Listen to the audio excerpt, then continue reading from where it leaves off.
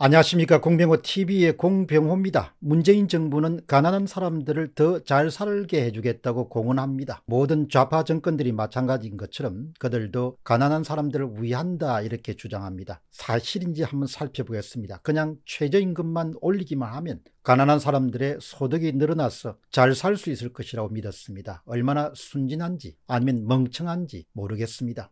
상식적으로 생각해봐도 최저임금을 지불 여력 이상으로 올리게 되면 업주 입장에서는 가장 먼저 실행에 옮기려 하는 것은 인건비를 감축시키는 겁니다. 노동 수요가 줄어든 것은 당연한 것이고 또한 인건비가 감내할 수준 이상으로 오르게 되면 자동화를 하게 됩니다. 2018년 재단법인 파이터치 연구원의 조사에 따르면 최저임금이 16.4% 정도를 인상될 경우에 업주들은 자동화를 시도하고 그 자동화를 인해서 국내 전체적으로 17만 명의 일자리가 감소한다. 그런 실증 결과를 내놓은 적이 있습니다. 노동 투입이 줄어들게 되면 자연히 생산이 줄어들게 되고 가격이 오르면서 소비가 줄어들게 됩니다. 왜 문재인 정부 사람들은 이런 기본적인 경제 상식이나 경제 지식을 무시하는 것일까요? 그것은 아마도 자신들이 갖고 있는 무지함과 자만심이 큰 역할을 했을 것으로 봅니다. 첫 번째 질문은 가난한 사람들 과연 부유해졌는가? 문재인 정부가 예상한 소득주도 성장, 소주성의 궁극적 효과는 소득 격차를 감소시키는 겁니다. 상대적으로 저임금 노동자의 소득을 높임으로써 분배 정의를 실현하겠다. 그것이 바로 문정권이 갖고 있는 소주성의 중요한 목표일 것입니다. 결론부터 말하고 그 다음에 분석 결과를 소개해 드리겠습니다. 시장의 반응은 정부의 희망 상황과 전혀 반대로 나타났습니다. 오히려 문정부의 소주성은 가난한 사람들을 더욱더 가난하게 만들고 말았습니다. 아주 중요한 정책입니다. 소득주도 성장 정책은 문재인 정부의 핵심 관계자들의 의도와 전혀 관계없이 가난한 사람들을 더욱더 가난하게 만들었고 형편이 어려운 사람들을 더욱더 어렵게 만들었습니다. 충분히 경제학자들이 예상했던 그런 내용입니다. 그러나 그런 상식적인 주장들을 다 무시해버리는 거죠. 전문가 이야기를 안 듣는 겁니다. 사이비 경제 이론만 도입하니까 연세대 경제학과의 성태윤 교수에 따르면 그 실정 증거를 낱낱이 밝힐 수가 있습니다. 지금부터는 성 교수의 실정 분석 결과를 잘 정리해서 핵심 포인트만 여러분들 뽑아서 여러분들에 소개해드리고 그 다음에 저의 해설을 더하는 시간을 갖도록 하겠습니다. 첫 번째입니다. 저소득층의 명목소득이 감소했다. 저소득층의 그냥 소득 자체가 내려앉은 겁니다. 뭐로 인해서 소득주도 성장 정책이 시행됨으로 인해서 소득 하위 20%인 1분위 계층의 경우만 보면은 2017년도 4분기에 가구 평균 소득이 150만 원이었습니다. 소득주도 성장 정책이 시행되고 2년여 흐른 2019년 4월 달에 평균 소득은 132만 원으로 13%가 줄어듭니다. 여러분 한 번 더 정리하겠습니다.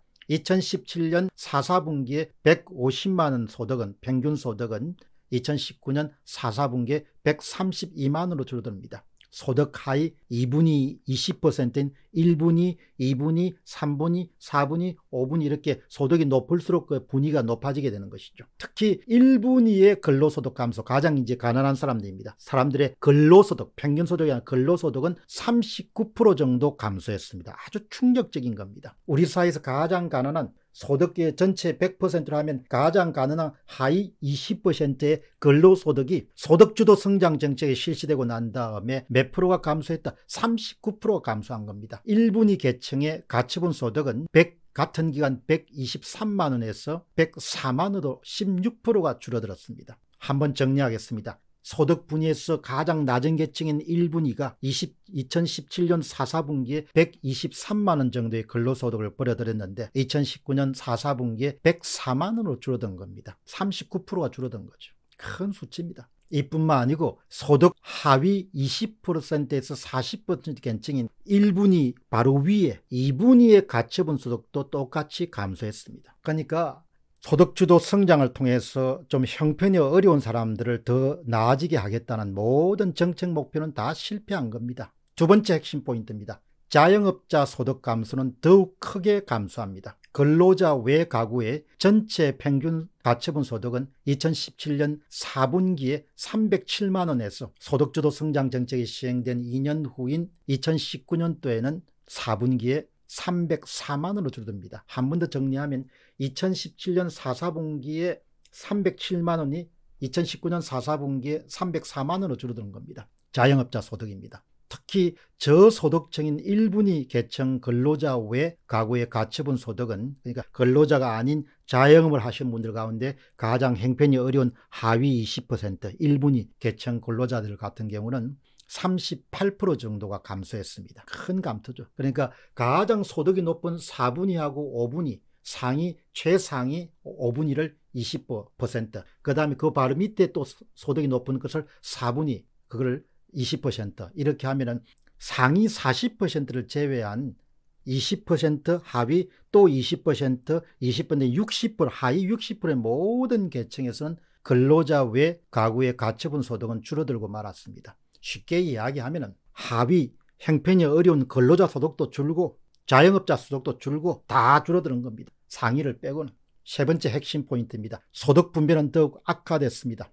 재단법인 파이터치 연구원의 라정주 연 원장의 분석에 따르면 가구 구성원의 상위 20% 평균 소득을 하위 20% 평균 소득으로 나눈 값이 우리가 흔히 균등화 처분 가능 소득 5분위 배율이라고 부릅니다. 좀 여러분 어렵죠. 균등화 처분 가능 소득 5분위 배율입니다. 이것이 아주 중요한 일종의 소득 분배의 정도 악화됐는지 완화됐는지를 평가하는 일종의 지표입니다. 값이 높으면 높을수록 소득 격차가 더 벌어지는 것을 뜻합니다. 균등화 처분 가능 소득 5분위 배율 자료를 조사를 해보면 놀라운 사실을 발견할 수 있습니다. 이 통계는 2003년 1분기부터 현재 2019년 4분기까지 구할 수 있습니다. 1분기의 최고치, 2분기의 최고치, 3분기의 최고치, 4분기의 최고치를 다 해보면 모든 최고치가 누구가 차지하는 거 하니까 소득주도 성장 정책을 실시하고 난 이후에 1분기에서 최고치가 나오고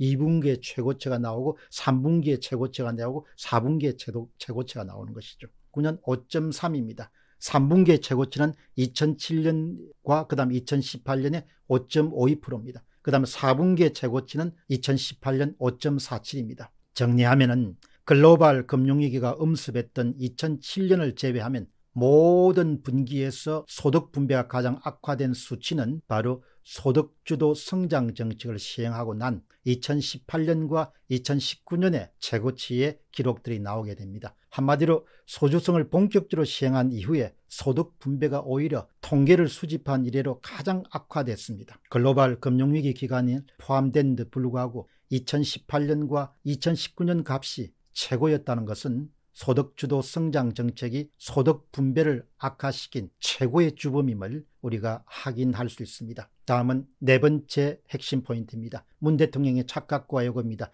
문 대통령은 지금도 오히려 소주성이 성과가 나타나고 있다고 이렇게 믿고 있습니다. 2019년 11월 21일 날 3분기 균등화 처분 가등 소득 5분위 배율이 2018년에 5.52에서 2019년에 5.37로 감소한 것을 두고 문 대통령은 이렇게 주장합니다. 소득주도 성장의 정책 성과가 분명하게 나타나고 있는 것이다. 이렇게 주장하죠. 그러나 전문가 이야기는 완전히 다릅니다. 장기적인 지표는 외면한 채 직전 연도보다 다소 낮은 통계치를 가지고 이렇게 주장하는 것은 통계를 왜곡하는 것이다. 뭐 다르게 표현하면 거짓말을 하고 있는 것이다. 이런 뜻인 거죠. 한마디로 최고값이 2018년부터 계속되고 있는데도 불구하고 문 대통령은 절대 현실을 보고 싶어 하지 않는 것이죠. 문 대통령과 이 정권의 핵심 관계자들은 소주성을 성공했다고 보는 겁니다. 모든 사람들이 다 현장에 있는 사람들과 전문가들이 다 최악의 정책이었다 이렇게 평가하는데도 불구하고 말입니다. 마지막 질문은 우리가 알아야 할 일입니다. 가난한 사람들을 더 살게 좋아지도록 해주겠다는 좌파 정책들은 대부분 정반대의 결과를 낳고 있습니다. 이런 점에서 문재인표 소득주도 성장은 전형적인 좌파 정책의 실패와 거의 같은 길을 걸어왔습니다. 충분히 파괴적 효과를 수많은 전문가들이 경고해 왔음에도 불구하고 무지막지하게 밀어붙인 결과는 참담하기까지 합니다. 연세대 성태영 교수는 이렇게 안타까움을 표현합니다.